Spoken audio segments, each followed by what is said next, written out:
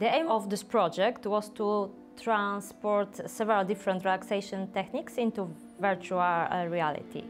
Why virtual reality? Because it provides uh, total immersion. So the user is sitting in totally different environment. Uh, it's artificial, of course, environment.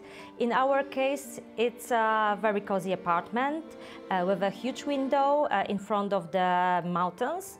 Uh, and the user is uh, listening to singing birds and uh, the, the lector. The lector is guiding uh, the user how to breathe, what to focus on and uh, what to follow, for example, in bilateral stimulation.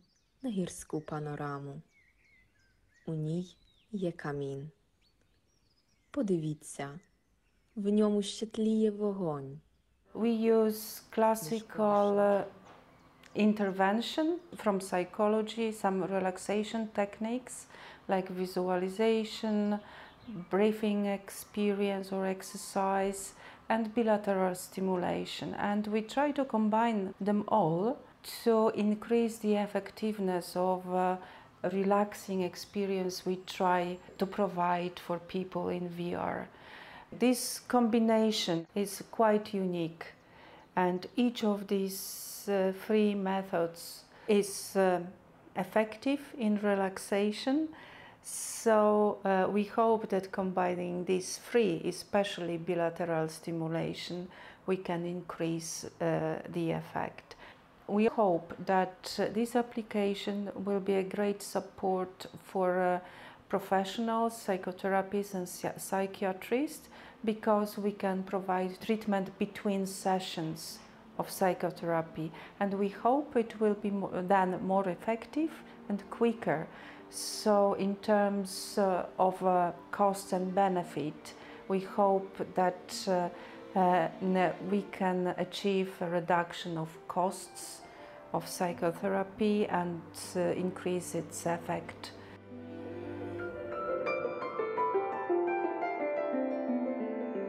The project started several months ago and we were testing the application among office workers and the results were very promising. Uh, when the war started and a lot of refugees came to Poland from Ukraine, we knew that we have to help them somehow.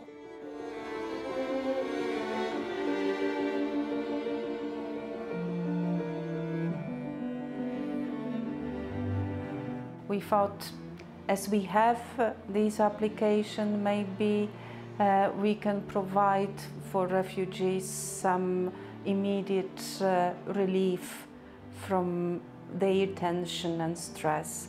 And uh, uh, we were very happy to arrange this.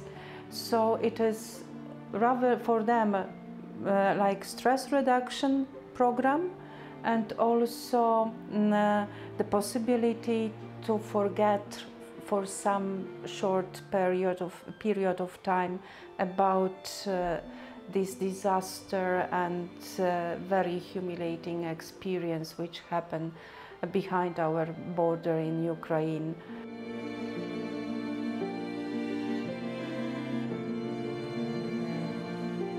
Right now we have about 40 uh, Ukrainians refugees who are coming on our sessions every week. And they are coming back, so that's why we, we think uh, it helps them. Additionally, we have those questionnaires before and after sessions, and we record the EEG signal using uh, dry EEG electrodes.